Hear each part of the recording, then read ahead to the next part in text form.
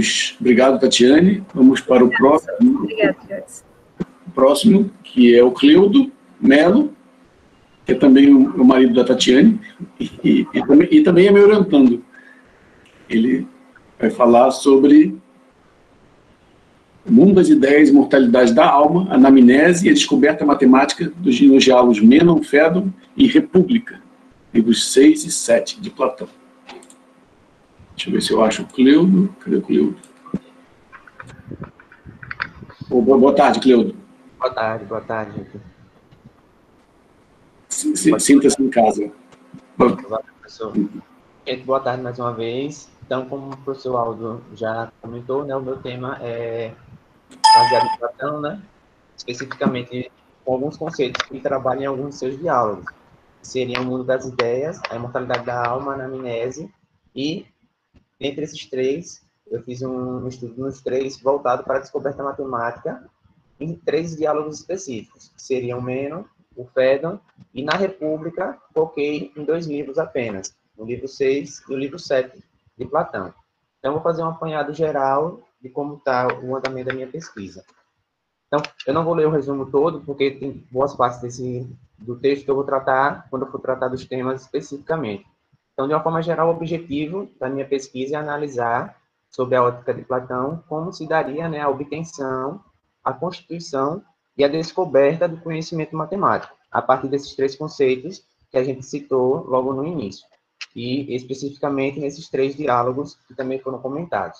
A partir dessa pesquisa, eu quero tirar como conclusão quais são as possíveis, quais seriam as possíveis consequências pedagógicas disso. Então, como é que eu obtenho o conhecimento matemático, como é que eu constituo, como é que eu descubro, segundo Platão, e o que é que eu posso tirar de proveito disso, pedagogicamente falando. Então, fazendo a introdução, de todos, vários diálogos de Platão, ele faz, em todos eles praticamente, uma relação sempre com a matemática. Eu voltei especificamente para esses três para centrar o meu trabalho, para não ter um, um, horizonte muito longo e acabar me perdendo. Então, eu foquei nesses três diálogos, o Meno, o Fé e a República, nos dois livros, para tratar especificamente do que Platão comenta sobre a matemática nesses diálogos.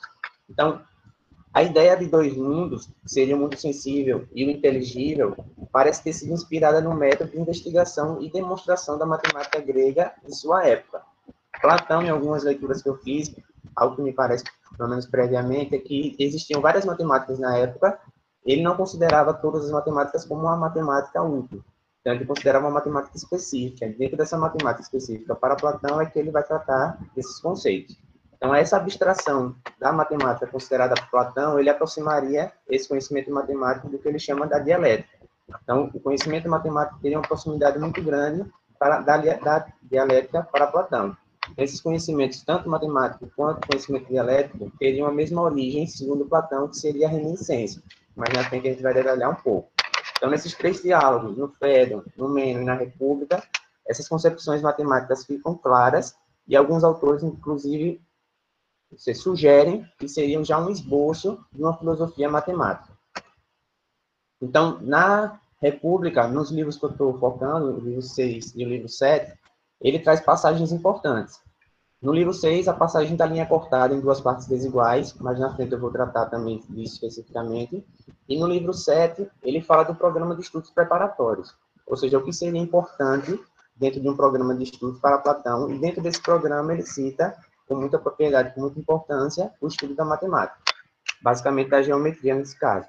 No Meno, tem um episódio muito conhecido que seria o episódio do escravo, que também mais na frente eu vou detalhar. Nesse episódio, a gente percebe o caráter dedutivo da matemática e como o uso de imagens ou figuras na, é, influenciaria nas demonstrações geométricas.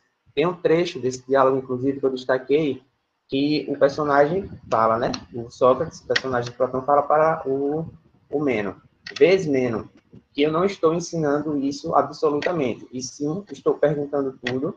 Nessa passagem, ele quer mostrar para Meno que o escravo dele ele não teve nenhum conhecimento prévio de matemática, mas mesmo assim ele tem conceitos já inscritos dentro dele. Ele, bastaria um, um interrogatório bem sucedido para despertar esse conhecimento que já estaria dentro do próprio escravo.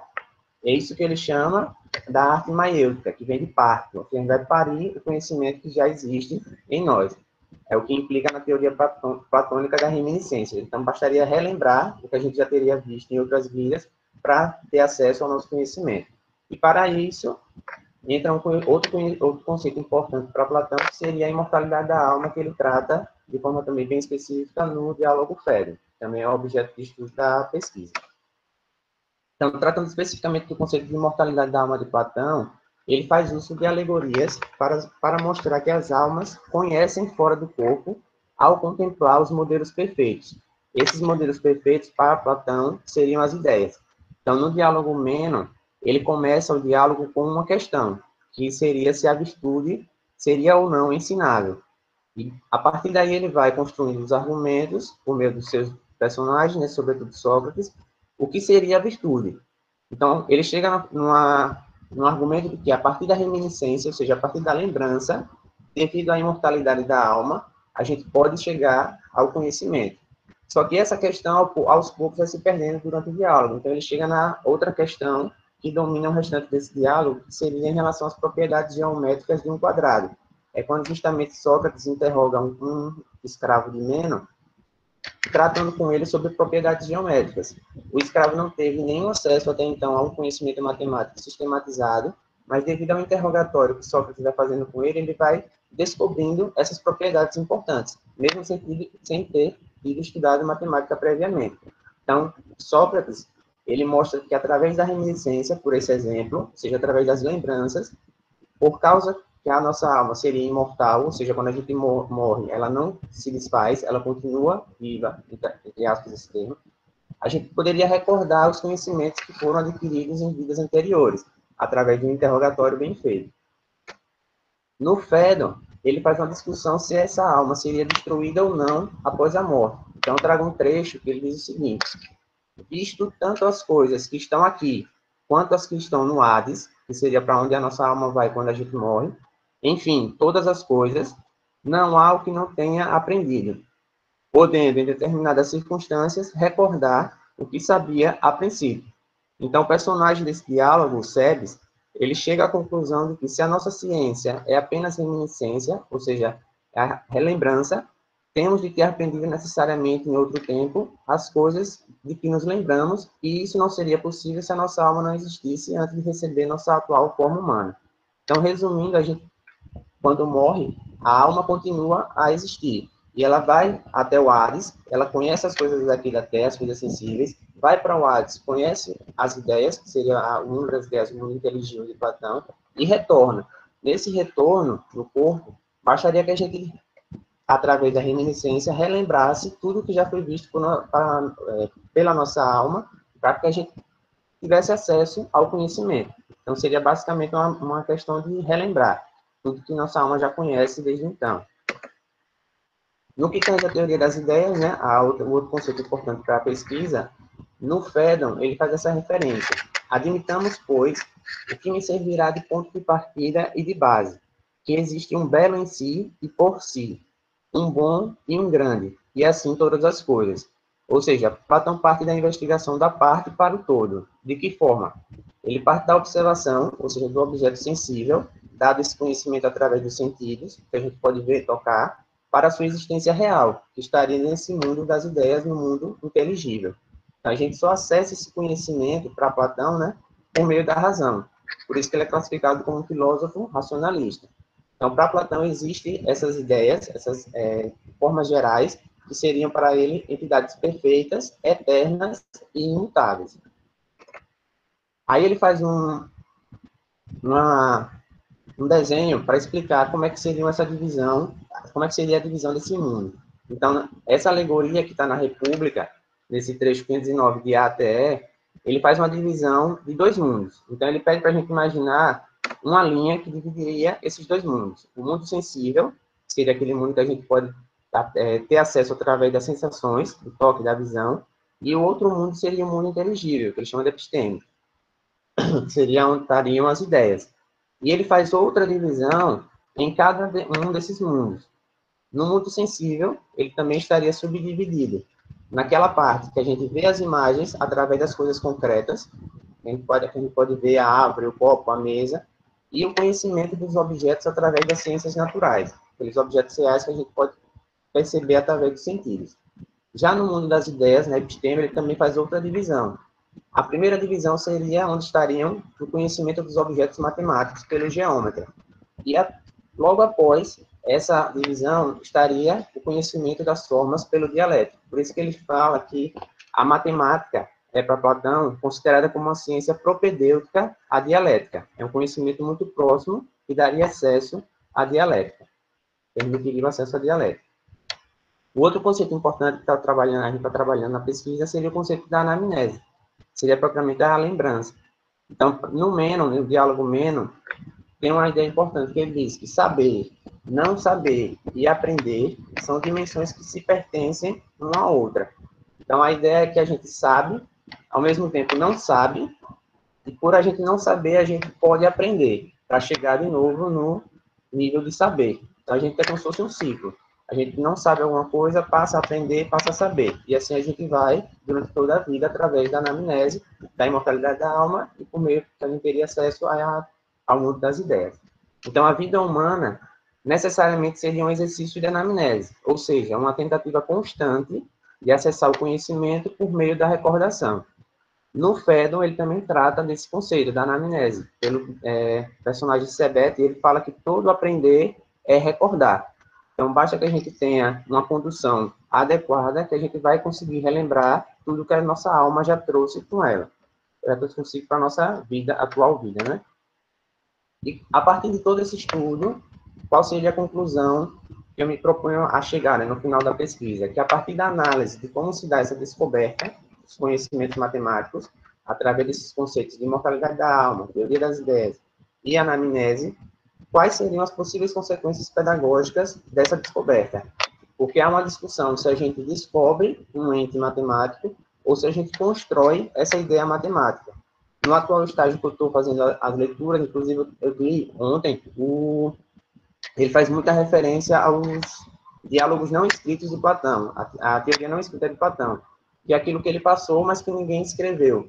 E faz muita referência ao livro Metafísica de Aristóteles, que Aristóteles meio que combate essa ideia que Platão tem de que os entes matemáticos seriam objetos suprassensíveis. Inclusive, ele faz uma citação, eu separei aqui, e logo no início do livro, livro M, eu acho, da Metafísica, ele diz que é impossível, é absurdo, é ridículo que o objeto da matemática seja substância suprassensível. Então, há essa discussão se o o objeto, o ente matemático, conhecimento matemático, conhecimento matemático, a gente bastaria descobrir, ele já estaria em nós, a gente descobriria a partir da anamnese, ou se a gente teria a opção de construir esse conhecimento matemático, e de que forma os objetos sensíveis influenciariam nessa descoberta, nessa construção do conhecimento. Então, basicamente, de forma bem resumida, o que é que, o que, é que eu me proponho, né? O que é que a gente está se propondo a pesquisar nesse, nesse tema. Então, muito obrigado.